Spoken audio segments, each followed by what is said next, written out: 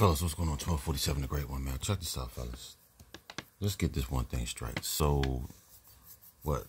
Back in May, brother George Floyd passes away, and the world stood up for him.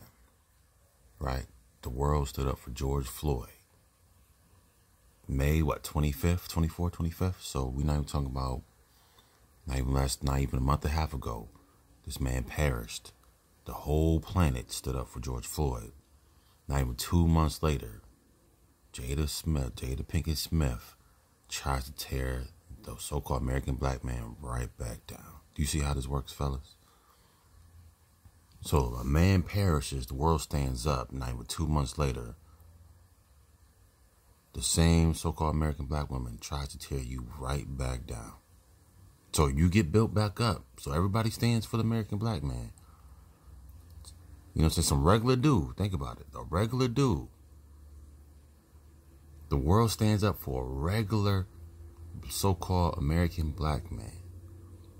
And these clowns get a celebrity so called American black man to try to tear you back down. Fellas, do you not see what's going on right now?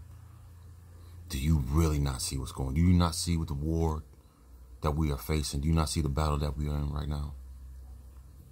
A regular dude, the, the planet stands up for him. So they get a celebrity to try to equalize that, what, what just happened not even two months ago, and try to tear you back down.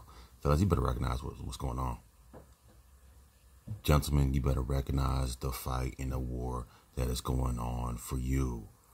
You got the world standing up for you, and you got another group of people that's trying to kill you. You better wake up, man. You better wake up. How does foreign people that don't know you a regular dude stand up for you, but then the so-called celebrity sister tries to tear you down. Wake up, man. Like, share, and subscribe. Peace.